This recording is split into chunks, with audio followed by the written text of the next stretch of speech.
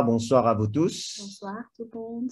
On est content, Nicole et moi, de pouvoir être avec vous pour entamer cette semaine de prière au niveau de l'église de Beaubassin, semaine de prière pour la famille. Et vraiment, nous sommes, nous allons euh, garder la petite Amy dans nos prières. Nous avons entendu euh, la nouvelle et nous allons continuer à prier pour elle. Donc, nous voulons dire à Baron et son épouse que nous sommes avec eux dans la prière et nous allons lutter pour que Dieu puisse intervenir. Euh, cette semaine de prière est une semaine particulière par rapport au thème et par rapport à la présentation de, des sujets euh, qui seront traités.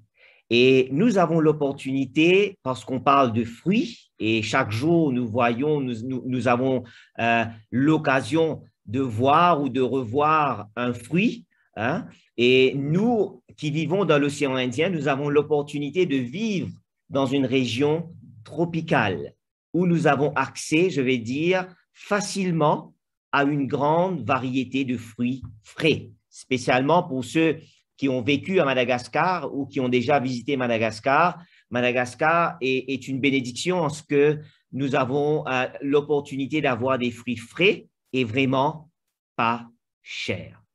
Et vivant dans une région tropicale, euh, nous voyons toutes sortes de fruits. Hein. Les fruits se présentent sous différentes formes, sous différentes tailles, textures et goûts. Et les fermiers du monde entier font de gros efforts pour faire pousser et produire des fruits qui apportent de la satisfaction à nos papilles gustatives. La Bible, en effet, parle aussi de fruits, mais d'une autre, sorte de fruits qu'on n'achète pas au marché et qu'on ne cultive pas dans un verger ni dans une ferme. Un fruit qui se cultive dans le cœur individuel de tout un chacun et dont la culture a une répercussion, a une conséquence sur ceux qui nous entourent, et plus particulièrement sur notre famille, parce que ce sont les êtres les plus proches qui nous entourent dans notre vie de tous les jours.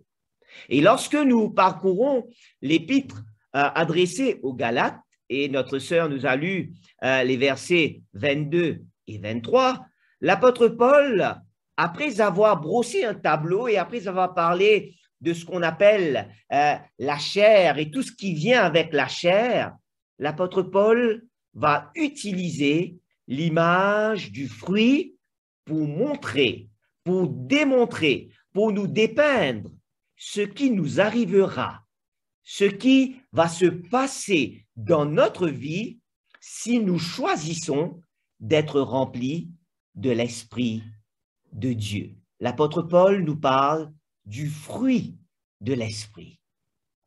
Ce fruit comporte neuf vertus et nous cultivons ces, ces vertus que nous cultivons quand nos cœurs sont remplis de l'Esprit de Jésus. C'est le résultat d'une relation avec Jésus et l'influence de son esprit en nous et à travers nous.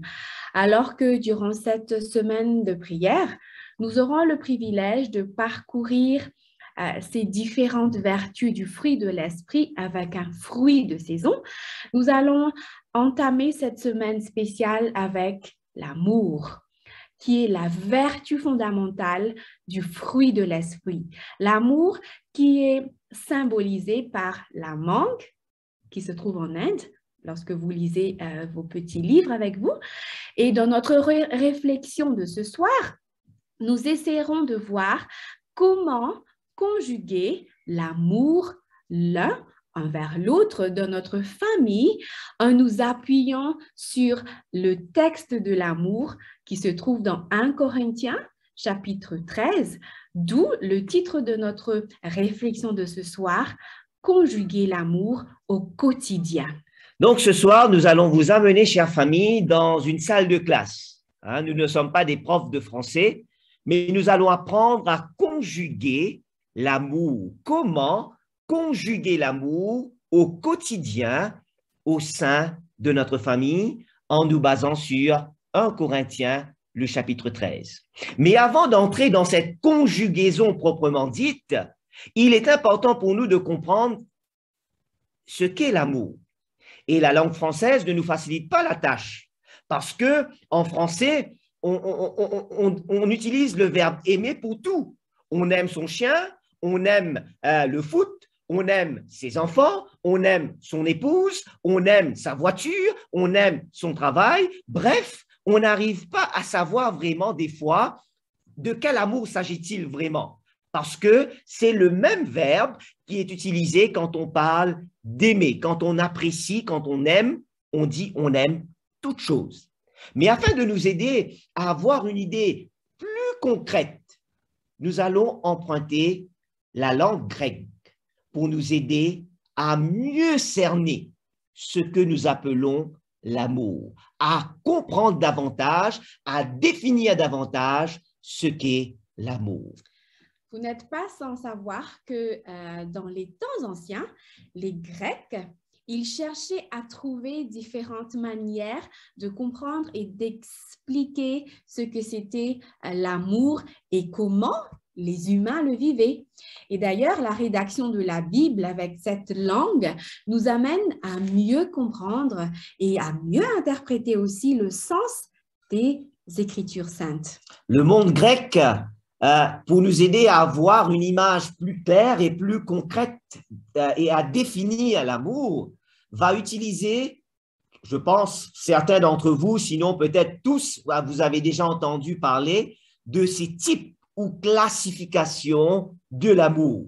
Et la langue grecque nous donne quatre types particuliers, quatre spécifications particulières quand il s'agit de l'amour. La première classification ou le premier type, on parle d'amour, l'amour éros. Éros représente cet amour passionné et érotique. D'ailleurs, le terme érotique vient du mot éros. Ce type d'amour se caractérise par une attirance physique, sexuelle et instinctive. Nous avons ensuite le storge, qui est un amour fraternel et plutôt amical et engagé. C'est un amour qui grandit avec le temps et qui est lié aux relations familiales et amicales. L'amour storge a besoin de temps, du temps pour que les gens se connaissent et il a aussi besoin d'un grand engagement. Nous avons aussi l'amour filia, qui est l'amour euh, qui existe entre amis, l'amour du prochain qui recherche le lien, le bien commun euh, des uns et des autres et qui s'exprime à travers le respect, euh, la solidarité, la coopération et la camaraderie. Et la quatrième, classification, si je puis exprimer, utiliser ce terme, c'est l'amour agapé ou agapéo du grec. Et nous connaissons fort bien, nous en avons entendu parler, agapéo, c'est l'amour le plus pur et le plus inconditionnel qui puisse exister. Il fait référence à un amour qui nourrit, un amour qui est généreux, un amour qui est conscient de ses devoirs envers l'autre. C'est aussi un amour spirituel et profond dont la priorité est le bien-être de l'être cher. Évidemment, lorsque Paul parle du fruit de l'esprit, lorsqu'il commence et il, utilise le terme amour euh, qu'on a en français, il parle bel et bien de cet amour agapéo. Et le fait que Paul mentionne l'amour en premier, ce n'est pas du tout un hasard, car il a déjà surligné le rôle central de l'amour dans la vie chrétienne. Nous pouvons le voir dans Galates chapitre 5, versets 6 au 13. Il va également mentionner cette euh, vertu dans d'autres chapitres, dans 2 Corinthiens chapitre 6, verset 6 à 1, ou dans 2 Timothée chapitre 2, verset 22. Et de plus, les huit autres vertus apparaissent dans plusieurs sources non chrétienne, alors que la vertu de l'amour est distincte et unique dans le christianisme. Lorsque Paul écrit euh, Galates chapitre 5 et il commence à énumérer le, le fruit de l'esprit et il commence avec la première vertu, euh, euh, l'amour. Et dans notre euh, livret de la semaine de prière, on parle du fruit du jour. Chaque jour, on va étudier un fruit ou deux fruits, selon Galates 5, versets 22 et 23. Donc, comme Nicole l'a dit, ce n'est pas un hasard, ce n'est pas par accident que Paul commence par l'amour. Parce qu'en commençant par l'amour, Paul démontre que l'amour n'est pas seulement une vertu comme les autres, mais elle est la vertu chrétienne qui est centrale, qui est névralgique, qui est la clé pour toutes les autres qui vont suivre par après.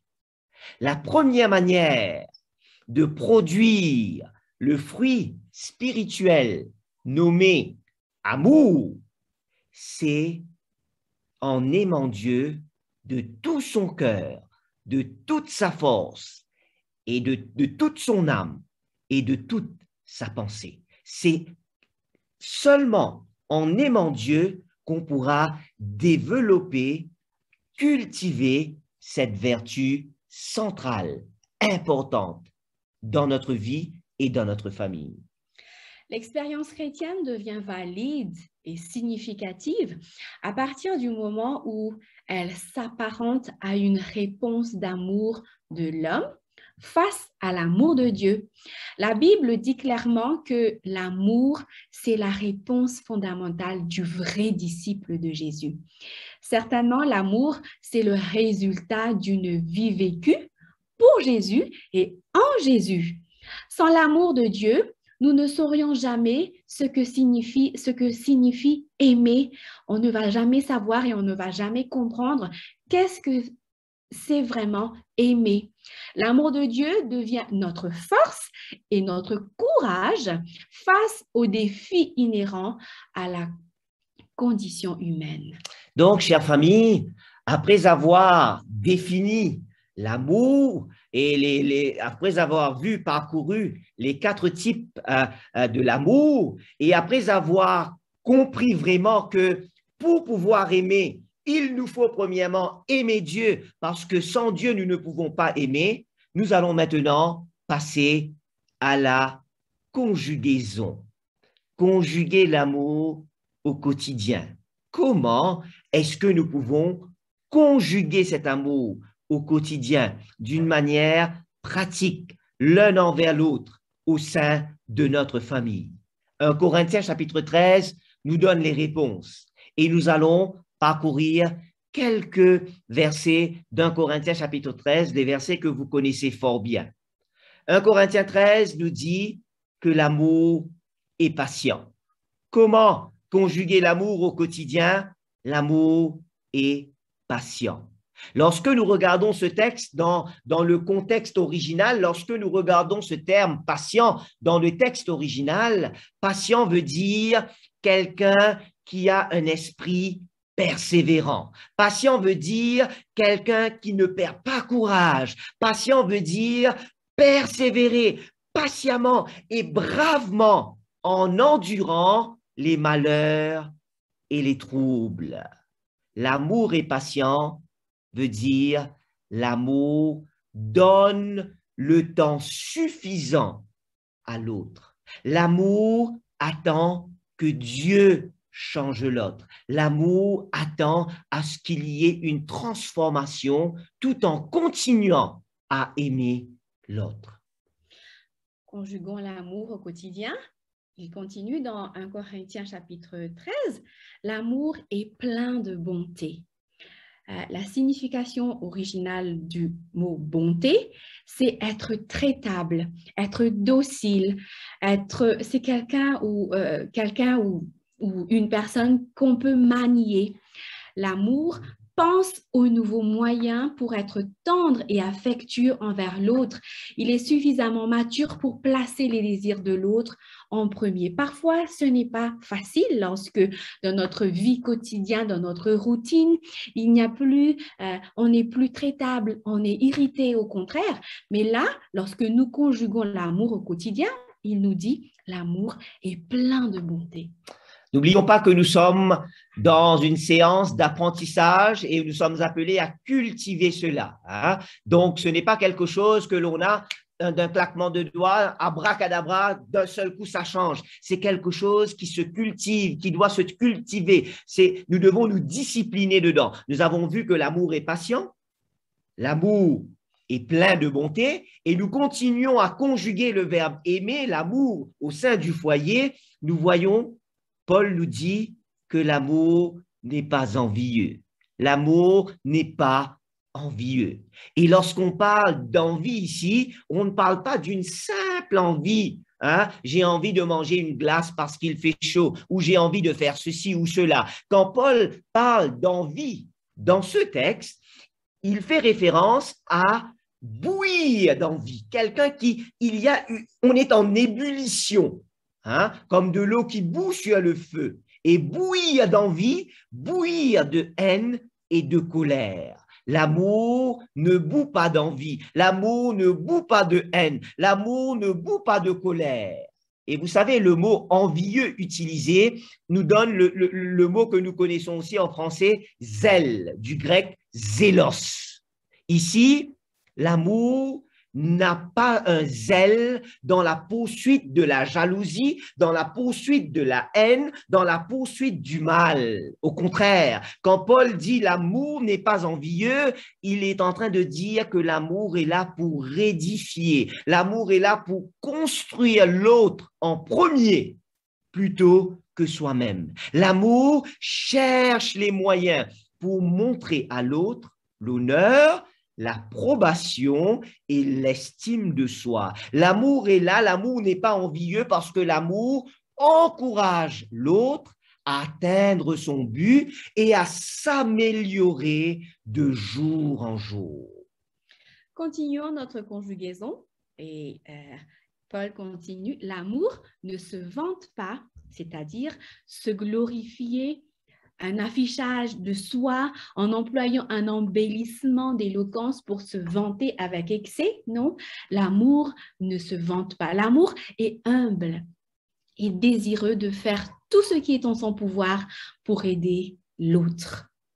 L'amour que Dieu nous appelle à avoir, l'amour agapéo que Dieu nous invite à cultiver, nous avons vu euh, comment le conjuguer jusqu'à présent et nous continuons dans cette liste.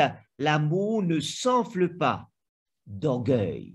L'amour ne s'enfle pas d'orgueil. Et ici, quand on utilise ce terme s'enfler d'orgueil, c'est, on peut utiliser un autre terme qui est apparenté, gonfler, hein, souffler, faire enfler. Hein. Donc, l'amour ici ne gonfle pas, ne souffle pas, ne, ne nous fait pas être enflés d'orgueil pour nous conduire d'une manière arrogante.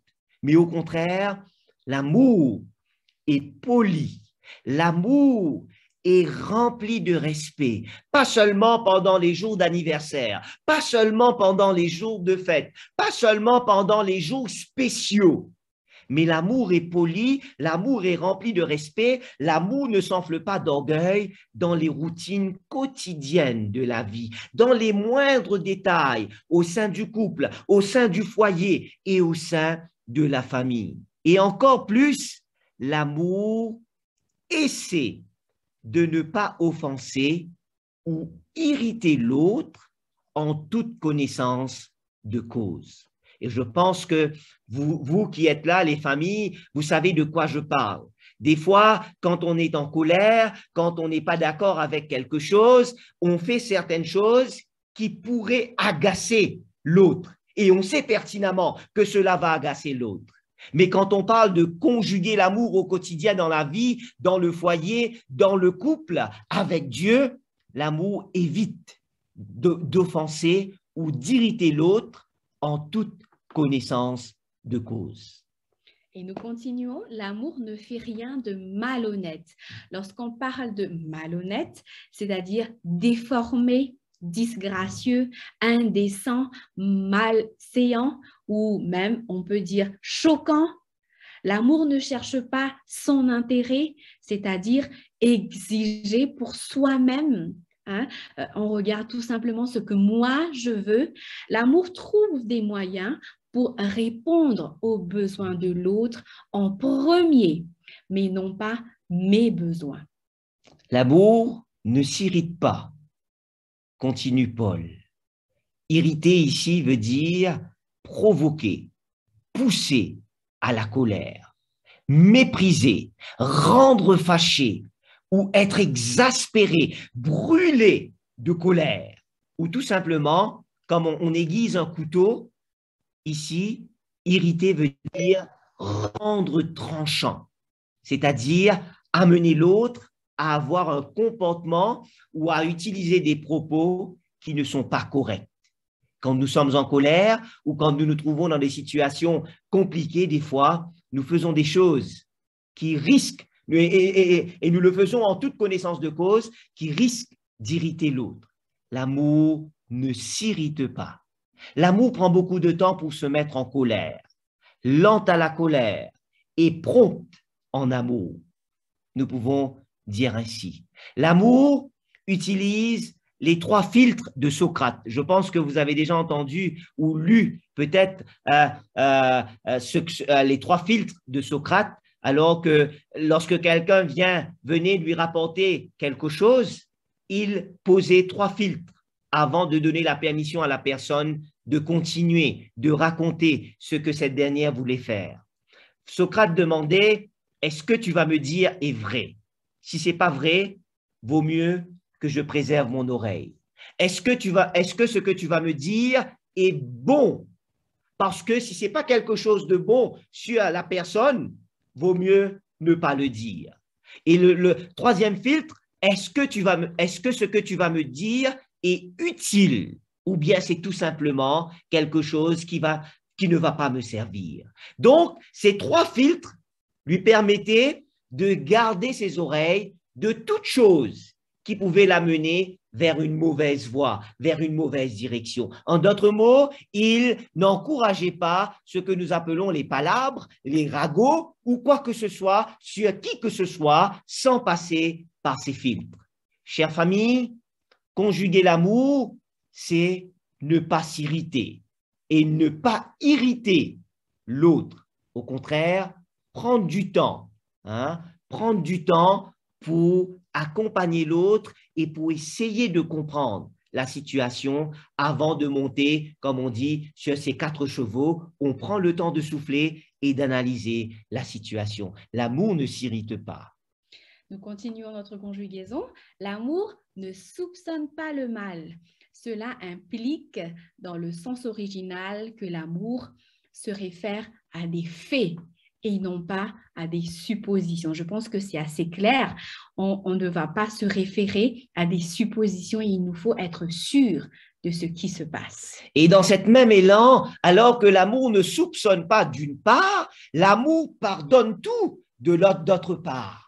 Et dans, la version originale, lorsqu'on parle du pardon, ici le terme utilisé pour pardon, euh, il fait référence à une toiture, hein, à un toit, et nous savons tous que le toit est là pour nous protéger dans la maison de tout ce qui peut nous tomber dessus, de la pluie, du soleil, ainsi de suite. Donc l'amour, non seulement euh, euh, il ne soupçonne pas le mal, il ne, ne s'adhère pas seulement à des soupçons, mais se focalise sur les faits, L'amour prend aussi le temps de pardonner, prend aussi le temps de protéger, de garder en recouvrant, en préservant l'autre.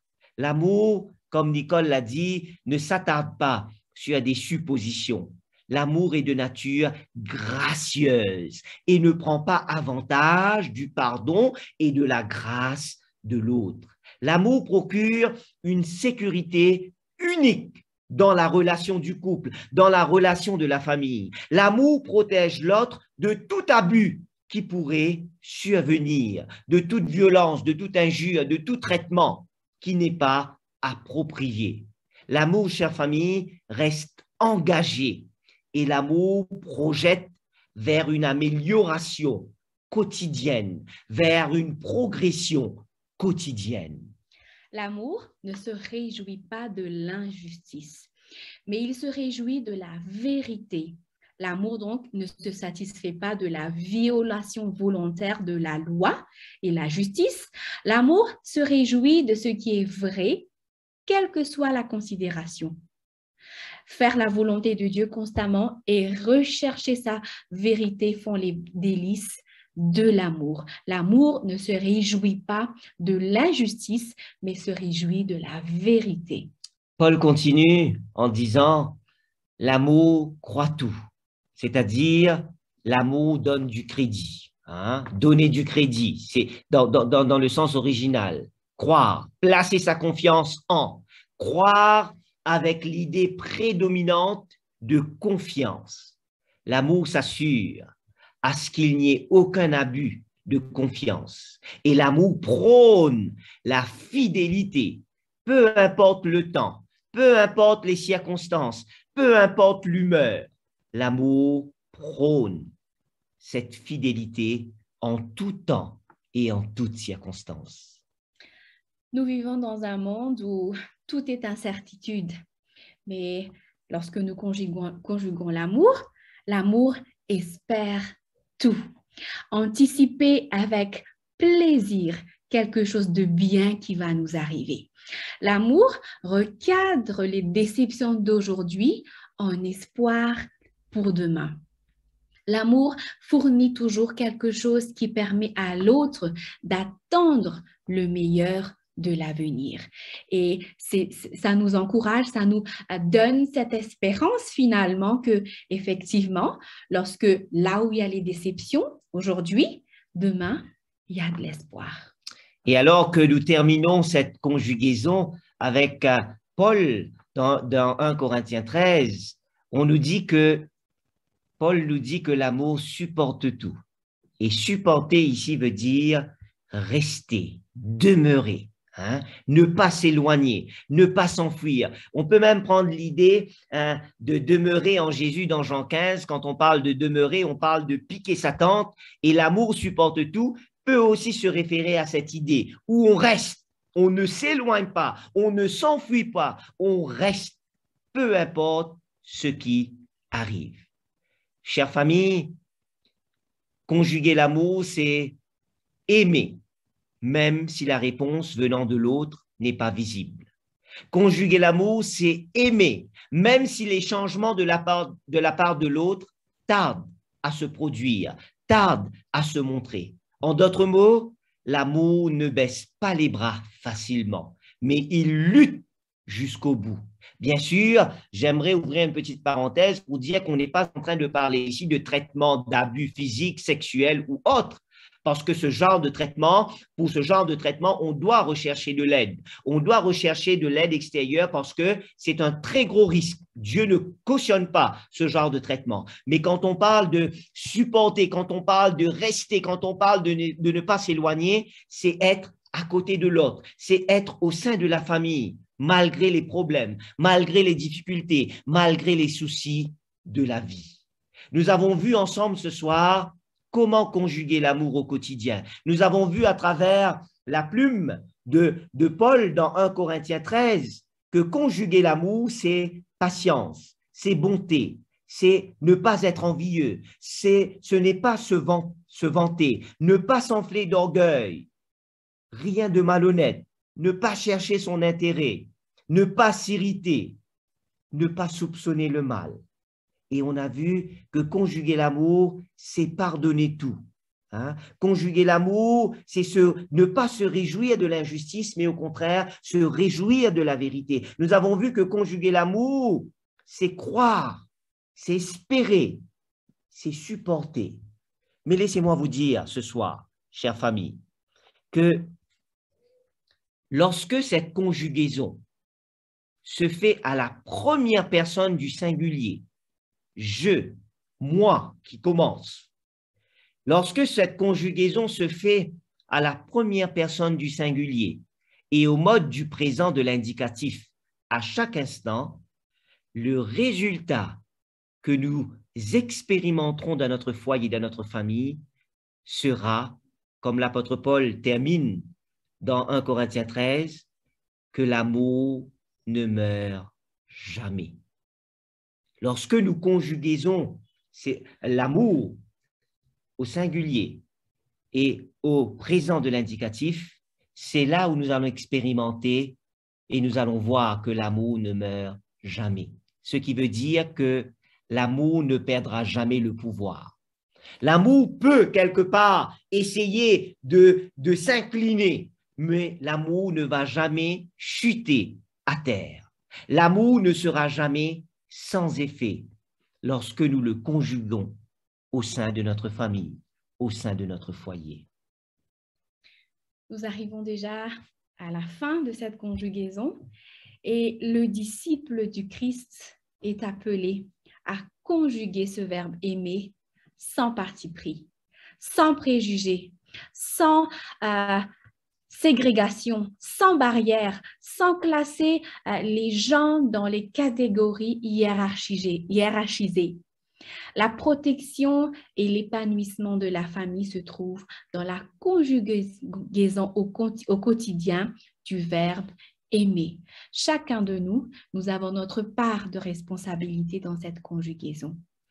Donc, nous avons dit que individuellement, nous devons conjuguer ce verbe au singulier, hein, première personne du singulier, je.